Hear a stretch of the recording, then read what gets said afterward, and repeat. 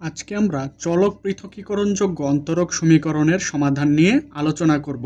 একটা প্রশ্ন দাও আছে সমাধান করো। ডিওয়াই ভাগ dx plus root over one minus y square ভাগ one plus x square is equal to zero তাহলে প্রথমেই আমরা লিখব, দেওয়া আছে, এই সমীকরণটা আগে তুলব।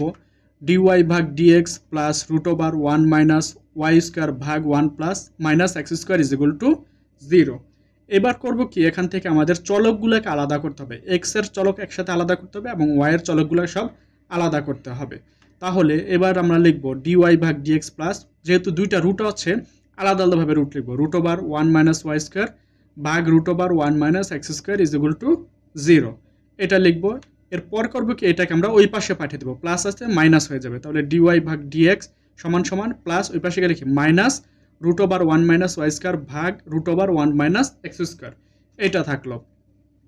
এইবার আমরা করব কি? এখানে দেখো ডিওয়াই ভাগ root over one minus y square সমান সমান dx minus dx root over one minus x square এটা করলাম কি? এই যে, এই root over one minus y স্কোয়ারকে এই পাশে আনলাম আর ডিএক্সকে এই পাশে নিলাম। এটাকে বলা হয় একান্তরকরণ করে। তাহলে দেখো চলকগুলো সব আলাদা হয়ে গেল। এখানে দেখো ওয়াইয়ের চলকগুলো একসাথে হয়ে গেল এবং এক্সের চলকগুলো একসাথে হয়ে গেল। এটাই হলো চলক পৃথকীকরণযোগ্য। এবং এই প্রসেসটা হচ্ছে, দেখো, কি করলাম? এইটাই পাশে, এটা ওই পাশে নিলাম। এটাকে বলা হয় একান্তরকরণ করে। এবার আমরা কি করব? উভয় পক্ষে এইটাকে এই পাশে আনব।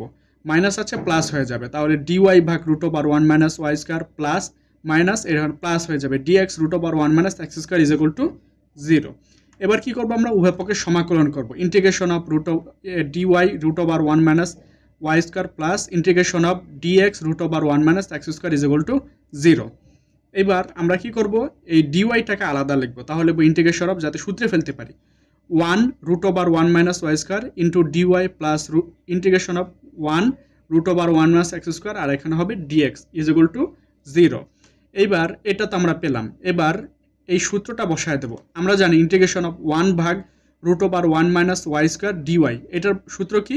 সাইন ইনভার্স ওয়াই এটাও ইন্টিগ্রেশন অফ ওয়ান ভাগ root over one minus x square dx sine inverse x আর শেষে একটা ধ্রুবক সি নেব।